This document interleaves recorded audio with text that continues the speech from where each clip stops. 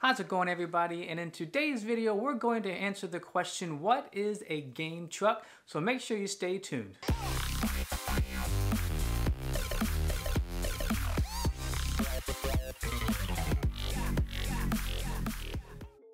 Okay, welcome back everybody, and my name is Wayne with me to you Game Truck, and in today's video, like I said, we're going to cover what a game truck is. So a game truck is typically going to be either a trailer, an RV, or some sort of bus, converted to be outfitted with different consoles such as Xbox, PS4, Nintendo Switches, and some systems may even have computers in there for the VR systems or virtual reality systems like the Oculus Rift.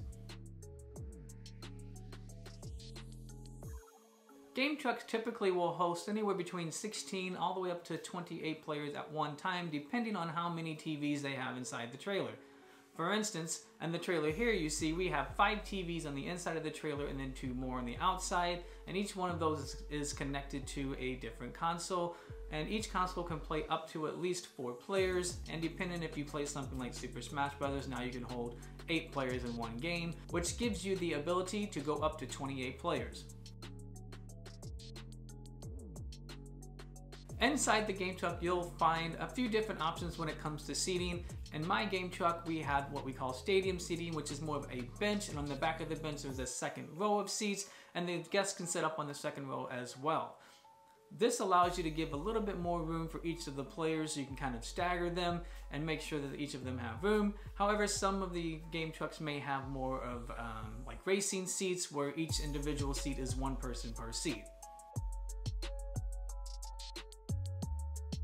Next we will move on to lighting and lighting you will find there will be lots of variations of lighting in a game truck system.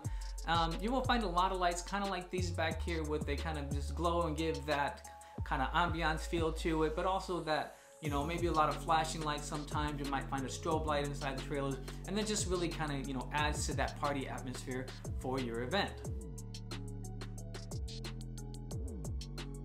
Now you may be wondering to yourself, hey, in the summer it gets really hot, or in the winter it's really cold inside that trailer, but have no fear, game trucks are outfitted with AC units. As you can see here in my trailer, we have two AC units. Each unit can be turned into heat in the winter time. I find I can usually keep it somewhere between 76 to 85 degrees depending on how hot it is and the outside temperature.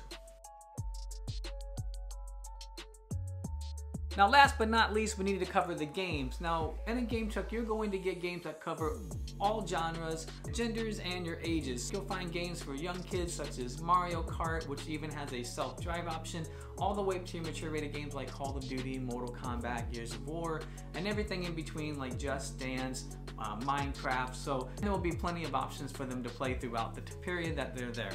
Now folks, you may be wondering why you should have a game truck party and if that's the case, make sure you check out this video right here to look at 5 reasons why you should have a game truck party. And folks, if you have any more questions as to what a game truck is, please make sure you leave those in the comments below and I will see you in the next video.